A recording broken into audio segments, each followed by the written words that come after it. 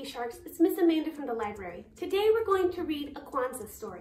It's about the Nguzo Saba, the seven principles of Kwanzaa, and how a family comes together using those principles to help their family and community. In Seven Spools of Thread, a Kwanzaa story,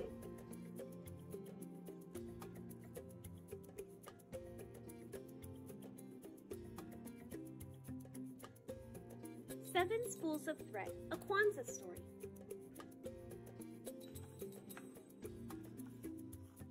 By Angela Shelf Medearis, illustrated by Daniel Minter.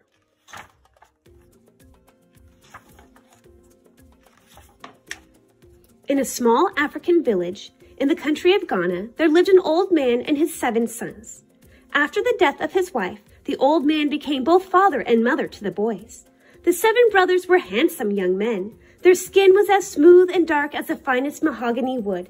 Their limbs were as straight and strong as warrior spears.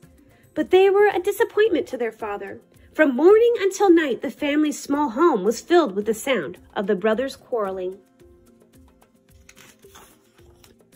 As soon as the sun brought forth a new day, the brothers began to argue. They argued all morning about how to tend the crops. They argued all afternoon about the weather. It is hot, said the middle son. No, a cool breeze is blowing, said the second son. They argued all evening about when to return home.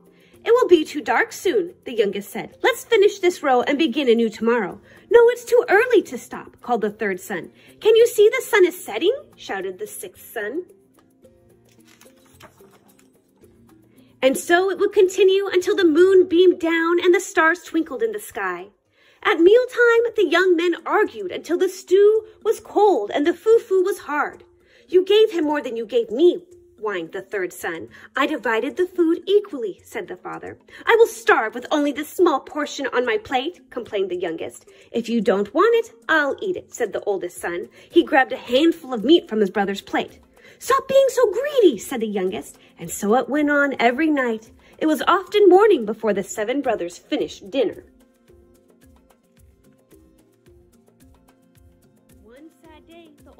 Died and was buried. At sunrise the next morning, the village chief called the brothers before him. Your father has left an inheritance, said the chief. The brothers whispered excitedly amongst themselves. I know my father left me everything because I'm the oldest son, said the oldest. I know my father left me everything because I'm the youngest son, said the youngest. He left everything to me, said the middle son. I know I was his favorite. Eh, said the second son, everything is mine. The brothers began shouting and shoving. Soon all seven were rolling around on the ground, hitting and kicking each other. Stop that this instant, the chief shouted. The brothers stopped fighting. They shook the dust off their clothes and sat before the chief, eyeing each other suspiciously. Your father has decreed that all of his property and possessions will be divided among you equally, said the chief. But first, by the time the moon rises tonight, you must learn how to make gold out of these spools of silk thread. If you do not, you will be turned out of your home as beggars. The oldest brother received blue thread, the next brother red, the next yellow, the middle son was given orange thread, the next green, the next black, and the youngest son received white thread. For once the brothers were speechless. The chief spoke again. From this moment forward, you must not argue among yourselves or raise your hand in anger towards one another. If you do, your father's property and all his possessions will be divided equally among the poor of the village. Go quickly. You only have a little time. The brothers bowed to the chief and hurried away. When the seven Ashanti brothers arrived at their farm, something unusual happened. They sat side by side, from the oldest to the youngest, without saying anything unkind to each other. My brothers, the oldest said after a while, let us shake hands and make peace amongst ourselves. Let us never argue or fight again, said the youngest brother. The brothers placed their hands together and held each other tightly.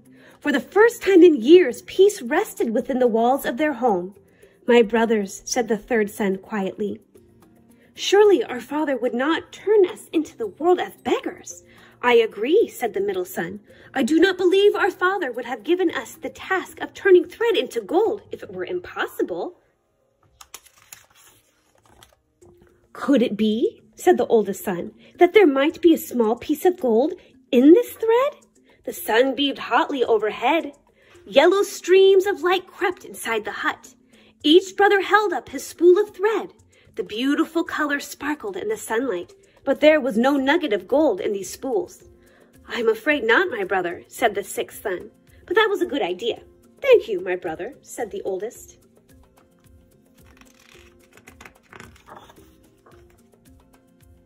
They took turns weaving cloth out of their spools of thread. They made a pattern of stripes and shapes that looked like the wings of a bird. They used all the colors, blue, red, yellow, orange, green, black, and white. Soon the brothers had several pieces of beautiful multicolored cloth. When the cloth was finished, the seven brothers took turns neatly folding the bright colored fabric. Then they placed it into seven baskets and put the baskets on their heads. The brothers formed a line from the oldest to the youngest and began the journey to the village. The sun slowly made a golden path across the sky. The brothers hurried down the long, dusty road as quickly as they could. As soon as they entered the marketplace, the seven Ashanti brothers called out, Come and buy the most wonderful cloth in the world! Come and buy the most wonderful cloth in the world! They unfolded a bolt and held it up for all to see. The multicolored fabric glistened like a rainbow. A crowd gathered around the seven Ashanti brothers. Oh, said one villager, I have never seen cloth so beautiful. Look at the unusual pattern. Ah, said another, this is the finest fabric in all of the land. Feel the texture. The brothers smiled proudly. Suddenly, a man dressed in magnificent robes pushed his way to the front of the crowd. Everyone stepped back respectfully. It was the king's treasurer. He rubbed the cloth between the palm of his hands, then he held it up to the sunlight. What a thing of beauty, he said, fingering the material. This cloth will make a wonderful gift for the king. I must have it all. The seven brothers whispered together. Cloth fit for a king, said the oldest, should be purchased at a price only a king can pay.